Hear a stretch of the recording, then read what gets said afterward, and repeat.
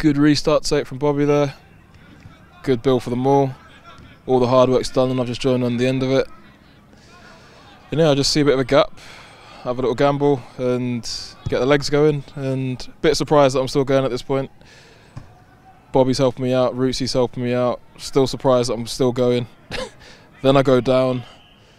At this point, all I can hear are people shouting. I look up and Burnsy, typical, has run past the defender like he's not even there, and he scored again.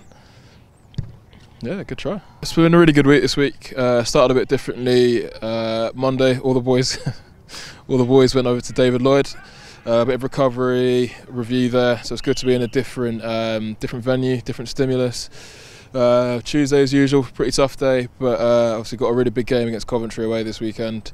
I know it's one that boys look forward to. Nice big crowd, nice stadium. So yeah, we've worked really hard and hopefully get a good result.